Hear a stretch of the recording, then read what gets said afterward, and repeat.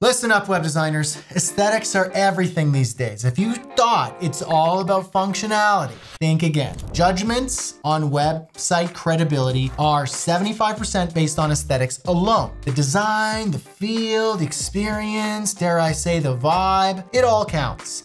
And if you've missed the mark on a first impression, 79% of customers are gonna start looking for your competition. The worst part, 88% of customers won't even give you a second chance rough. You blew it!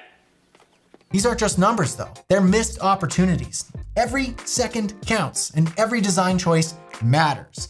And some web design mistakes are just so dire, they genuinely make me angry. So let's get into the first beginner mistake. This one is major, non-responsive design. And yeah, I've got some more data points for you, okay? Check it out. Look into any of your website's Google Analytics. That's the stats. And you'll notice that more than half of website traffic comes from phones. And about 2% are weirdos who use tablets to browse the web. So your website designs need to be responsive, which is web geek speak for it looks good on all these shiny little expensive gadgets. Ooh, so many choices. Speaking of choices, ever been in a restaurant on a road trip and you're just looking for like something appealing. So you can get in, get what you need, get out. But they have like a menu of 72 items spanning 12 different cuisines in four separate countries. Yeah, awful. Psychologists call that analysis paralysis, probably. When you're designing a website, don't be that roadside restaurant and give us a single clear call to action. Make sure it's prominent and guides users clearly on what action you want them to take. Hold their sweet little hand, guide them through so they can get back on the road, so to speak. Speaking of being on the road, nothing worse than having no idea where you're going, right?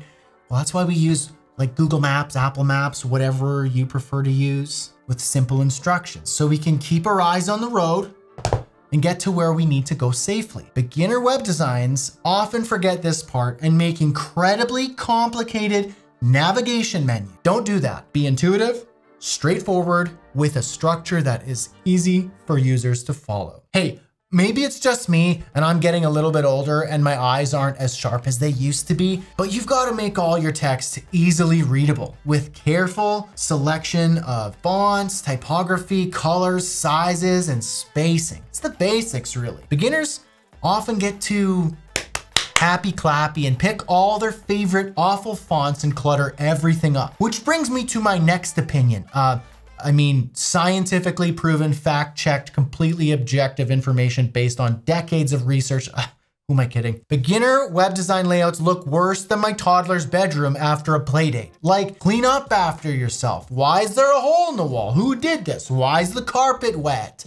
Organize your content with clear structure and a clean layout, using grids and adequate white space to enhance visual hierarchy and readability.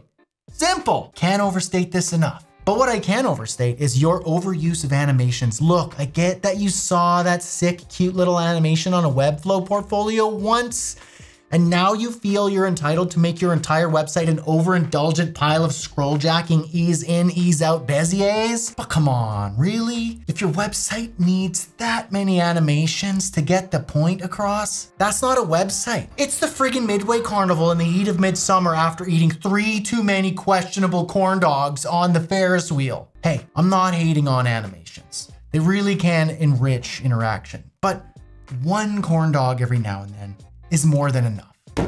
Know what I'm saying? Another thing that irks me is inconsistency across the website's visual elements. Like, establish a visual design system as a single source of truth to support a cohesive brand image and user experience, okay? oh, sorry. I was just having a laugh thinking about how to troll a beginner web designer. You wanna know how? All you have to do is ask them to solve the problem of white text over a bright image or black text over a dark image.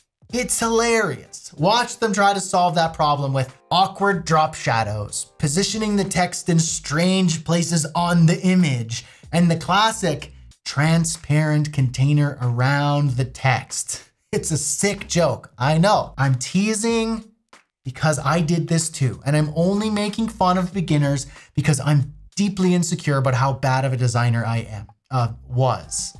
Look, the secret to this little magic trick is just to ensure high contrast for text against its background, particularly when overlaying text on images. It could be as simple as darkening the image or lightening the image, playing with colorizing the image, or just straight up find a different image. Hey, Vsauce, Michael here. When will you die? Don't want to overwhelm you with too many solutions here. Ah, speaking of overwhelm, avoid overwhelming users with too much information at once. Create a priority of which content you want to display where and use a clear information hierarchy. It's easy to ignore this part, but please do not ignore your website performance.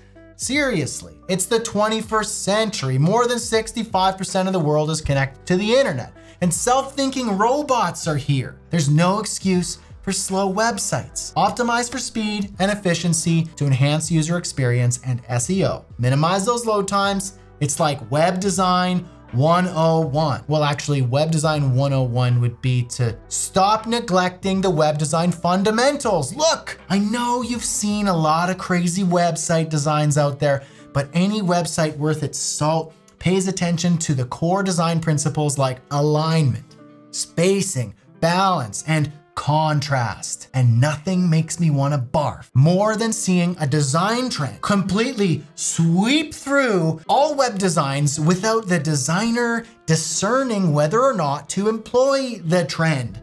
Look, a trend by nature is fleeting. And if you want to be a respectful creative director, which we all pretend to be, you ought to approach trends cautiously and with temperance. Come on. Can't even do the thing.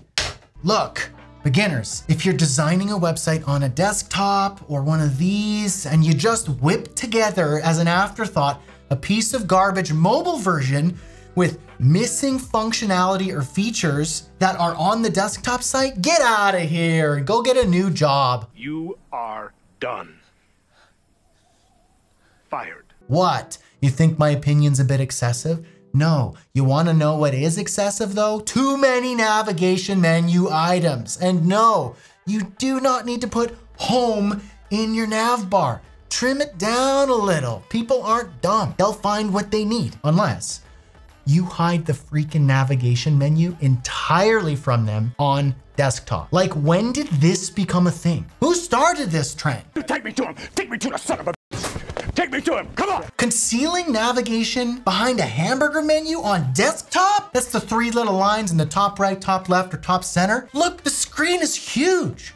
You don't need to hide the menu anyway. Less clicking is better, okay? Making my carpal tunnel act up. Another common rookie mistake is they get excited about busy backgrounds, images, patterns, and graphics all of them. And they just leave it all there. They use it all and they just put it all in the background because they don't want one image or graphic to be to miss out on the party. They make it virtually impossible to read anything. Text should stand out clearly from its background, avoiding busy patterns that impair readability. Finally, don't design in a vacuum. No, not this one.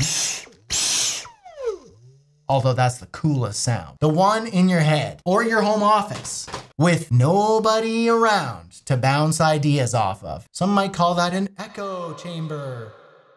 Echo, echo. Surround yourself with other web design professionals and test your ideas. Test your designs, ask questions, and be humble about the feedback you receive from other pros. A good place to start is the Creative Crew. That's my free community for web design professionals and agencies who do their best to stop all of these mistakes. Join now, it's free. The link's down below. Click it. But hey, it's not all about what you shouldn't do. What about a website that hits the mark on all fronts? Up next, I'm going to take you through an expert's dissection of a website that scores a perfect 10 out of 10. It's a masterclass in doing almost everything right. Click this video. I'm going to see you over there. Whew, that's a wrap. That was like therapy or something. Join the community. I promise I'm nice.